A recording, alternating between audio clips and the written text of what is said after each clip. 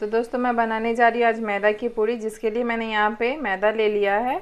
और उसमें हम ऐड करेंगे, ये हमारा है रिफाइंड ऑयल ऑयल यह मैंने काला जीरा लिया हुआ है, ये नमक, और यहाँ पे मैंने गर्म पानी करके रखा है।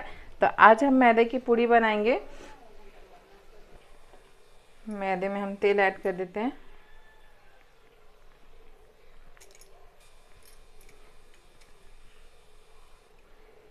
थोड़ा ज़्यादा ही क्वांटिटी में तेल हम ऐड करेंगे ताकि जो हमारा मैदा का जो पूड़ी बनेगा वो सॉफ्ट होगा एकदम ही। अब हम इसमें नमक ऐड कर देंगे। और इसके बाद जो हमने काला जीरा रखा था वो हम ऐड कर देंगे इसमें। ये आपको अगर काला जीरा ना पसंद हो तो आप अजवाइन भी ऐड कर सकते हैं। बट uh, मैदे की पूड़ी में काला जीरा का टेस्ट बहुत ही अच्छा आता है। अब इन सबको हम मिक्स कर लेंगे। इन सबको मैंने अच्छे से मिक्स कर लिया है। मिक्स करने के बाद देखिए आप, ये मिक्स हो चुका है। अब हम इसका एक डो रेडी करेंगे, जिसके लिए मैंने यहाँ पे गर्म पानी ले लिया हुआ है। आप मीडियम ही गर्म पानी लें, ज़्यादा बॉयल पानी ना ले, गर्म पानी। तो मैंने मीडियम ही गर्म किया हुआ था, अब हम इसमें ऐड कर देंगे और एक अच्छा सा डो बनाएँगे।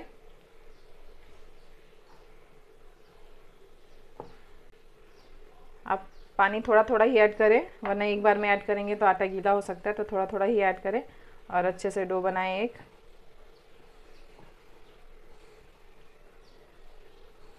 डो थोड़ी सॉफ्ट होनी चाहिए। जो हम आटा गूंदेंगे उसको हल्के हाथों से ही गूंदेंगे और वो हल्की सी थोड़ी नरम होनी चाहिए आटा।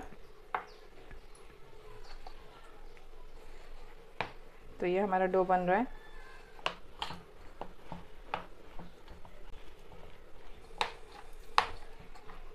तो ये डो हमारा तो ये हमारा डो बन के एकदम रेडी है। आप देख सकते हैं, मैंने इसको बहुत ही सॉफ्ट लगाया हुआ है। तो हमारा अच्छे से लगने के बाद पंद्रह मिनट तक हम इस डो को ऐसे ही छोड़ देते हैं।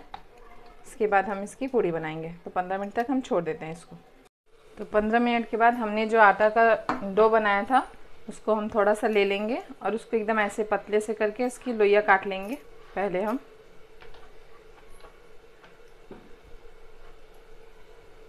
सारे लोइया हम मीडियम साइज़ में कट करके रख लेंगे।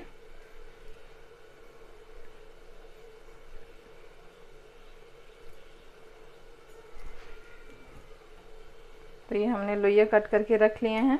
अब हम इनको सारे अच्छे से गोल गोल कर लेते हैं। अब हम इसकी पूड़ियाँ बनाते हैं। तो ये मैंने ले लिया है गोल करके। अब हम इसको पूड़ी बेलेंगे।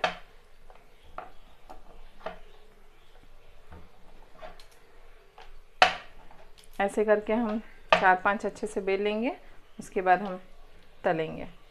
तो ये पूड़ी तो ये तेल हमारा अब गर्म हो गया है, इसमें हम पूड़ी तल लेंगे। पूड़ी को हम तेल में डाल के अच्छे से इसको डिप करेंगे, ताकि पूड़ी हमारी अच्छे से फूल जाए।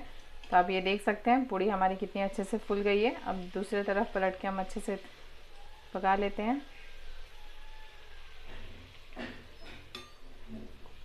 तो ये पूड़ी हमारी बन गई है, अब हम इसको निकाल लेते हैं। आप देख सकते हैं पूड़ी कितनी अच्छी सी फूली है। तो आप ऐसे ही करके सारे पूड़ी बना लीजिए।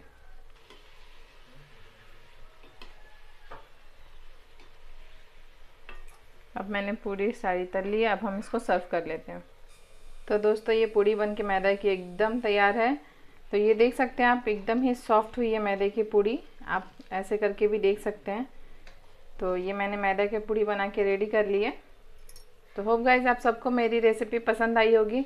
तो अपने अपने घरों में बनाइएगा और मुझे कमेंट कीजिएगा और मेरे चैनल को लाइक सब्सक्राइब एंड शेयर कीजिएगा।